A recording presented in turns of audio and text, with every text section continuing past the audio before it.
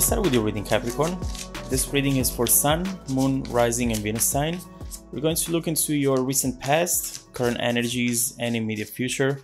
For cross watchers, keep in mind that energies go both ways. So please take the messages as the best resonate with you. All right, let's look into your recent past, current energies, and immediate future. Energy at the bottom of the deck, we have the Hangman. What this card is telling me is that perhaps you have been experiencing a blockage in your life recently. This is something that uh, prevents you in a way to move forward and to see any sort of progress in general. Now, what's very interesting about this card is that we, what we might not know is that we put ourselves in the position of the hangman. So, overall, we are seeing here an intentional pause. Doesn't mean that you might know about this, but there is clearly here a, a blockage that for some reason you are deciding for yourself. And so let's see how this energy will connect to the rest of the reading. First of all, let's start with your recent past. So I see you here trying to start something new, trying perhaps to move forward in a situation that is not making you happy right now, is not what you want it to be. You feel the potential of it and you have good ideas and overall a good approach to move forward and to make you happy again. Now, with the Ace of we see that idea. We see that spark, that inspiration. And we see also that you might have had in your past and recent past some opportunities around you to be happy, to maybe meet someone else, to start something new for yourself. And you know what? What I see here is that you do start because deep down you really want to do this. You really want to go for this. And also, the ace number one does talk about a new beginning. Therefore, when you start something, your whole environment completely changes. Everything that has happened up to this point uh, is wiped out, wiped away and therefore uh, leaving room for something new. And so this is what you want to do. Start anew, start fresh, letting go of what's been up to this point and give yourself a chance to be happy again.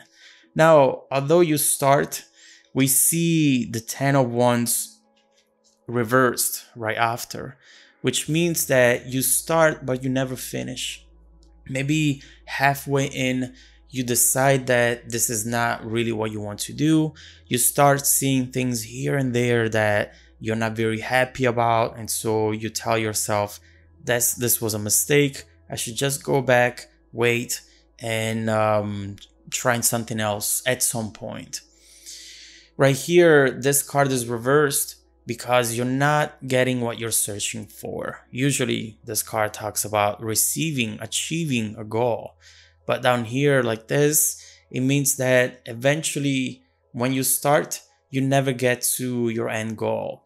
And we know, since we've seen the hangman there, that this is because of you. You might not know about this, but you are self sabotaging yourself here. And it's clear that there is something else, maybe that you are waiting for, something else that you are waiting to happen that it's not in your control. So let's see what we have in the current energies. All right, okay. So here we have the Ace of Swords, the Star, and the Wheel of Fortune. Having the Ace of Swords in your current energies tell us that you are soon going to be soon able to understand what's really happening in this situation. And I want to give you a preview of that, trying to maybe guide you in why you have been stuck for weeks, months, and how to start fixing that issue so that you can find happiness again. First of all, with the Ace of Swords, expect this to be a revelation, to be a breakthrough moment, something that maybe you really did not see, but that will make you go through a new beginning. Now, we don't see the Ace of Wands, we see the Ace of Swords, but is an ace regardless, which means that a new beginning now it's starting, and this one has plenty of clarity, and it's really going to put you in a situation where you can really move forward. What I see here, the clarity that you're going to get is about you secretly waiting for something, wishing for something. The star, the wheel of fortune, I see you here not being able to focus on the present, therefore your future, because you're focusing on the past. I've said this before, and I'm sure you know this already. Uh, the light that travels from the stars to us takes millions, billions of years to get to us. Therefore, you're seeing the light of that star when it left that star millions and billions of years ago. And that means that you're looking into the past. That's what the star card means. You are wishing for something, and in this case, something to come from a past situation, from someone maybe who's not around you at the moment. So, regardless of you being completely aware of this or not, your actions are very much impacted, conditioned by this other situation that it's still very important to you. What I see here with the Wheel of Fortune, you know, usually you see change with this card, but you also see repetition. The wheel keeps turning around, it's a repetition and it will never end. And what we see here is that you are waiting, wishing for a situation from the past to repeat itself. Now, for some of you, this being a general reading, it has different uh, meanings.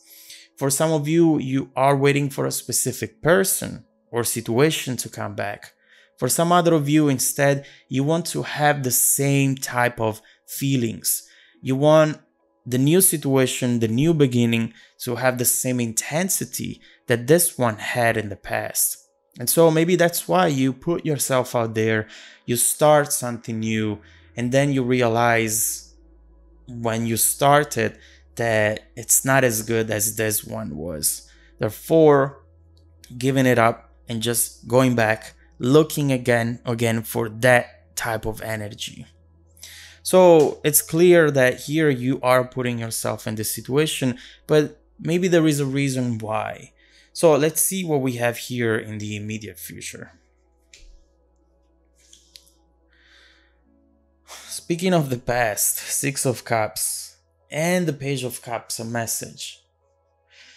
So, what I'm seeing here is that perhaps not only you are missing a certain person or a certain feeling within you.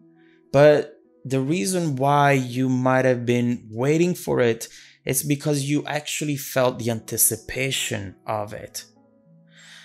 The reason why I say that it's because with the Six of Cups and the Page of Cups, we clearly are receiving a message from someone that belongs in the past. This person has still a connection with you they are also looking at this wheel of fortune up here hoping for the impossible to become possible hoping to reconnect and to explore maybe a uh, new type of connection that's what i'm getting from this person repeat but repeat it in a different way both repetition and transformation and change there. They are clearly wanting to tell you something. And with this card, you know that they're going to reach out. The Six of Cups, as you might know, talks about feeling nostalgic about the past, feeling nostalgic about an event, a memory, and overall being able to be happy just when you think about that memory and it's clear that this is not sustainable because we don't want to be remembering how we were happy in the past. We want to be happy today, in the present, And that's what you are trying to do here. And something is holding you back from that. And now we see what this is. This person perhaps has been feeling the same way. And you, in a way, knew that.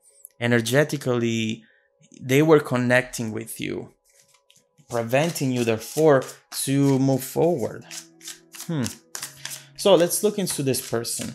Let's see what they want to tell you here with the Page of Cups. I want to look into what they want to say and also what their feelings and intentions are at this point. Let's see if this message will change the dynamic in this connection at all and especially if it's going to unblock you so that you can find happiness once again. I'll be continuing this reading in the extended video link below in the description box. Follow me there if you want to dive deeper into the messages. Also, don't forget that every week I randomly select viewers that have watched the extended video to offer them a free personal 30 minute reading. Stay tuned for the extended preview and some more content made just for you. Welcome back to your extended reading, Capricorn. What we have seen here in this situation is you trying to move forward and not just thinking about it, but actually trying, attempting this move forward. And eventually, every time you try, you end up always going back to the beginning because what you find along the way is not really what you want. Sorry, I just got the card that fell on the floor, the High Priestess what we have seen here is that you have a reason why to do so. There is something coming up here which will be connecting you back to the past. Whether you want it or not, this message is coming in and either is going to give you closure and going to make you able to not be in this hangman position any longer so that you can focus on your future or is going to give you the possibility to reconnect with this person and see if maybe there is a way to fix things. So let's see, first of all, what this person wants here, what they're going to tell you through that message. And this high priestess really came up because you felt the intuition. You were basing your moves on your intuition. As we said, you felt the anticipation of something, and now we see it happening in the immediate future. So let's look into this page of cups and see what they're feeling, what they're going to tell you as well.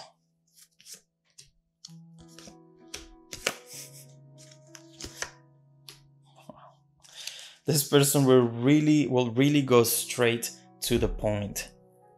They will not waste time at all. What we're seeing here right now